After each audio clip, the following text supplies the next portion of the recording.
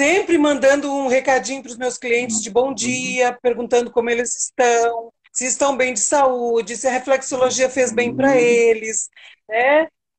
E tudo. E também sou aquela assim, agora eu estou falando que nem um papagaio, né, professor? Porque eu tenho que falar rapidinho. Mas na terapia eu sou mais o, o pá de cá, né? Escuto Não mais. fica querendo adivinhar o que o cliente tem.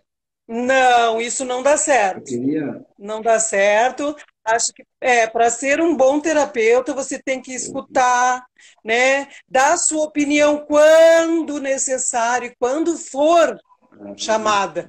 Porque às vezes a pessoa só quer desabafar, não é mesmo?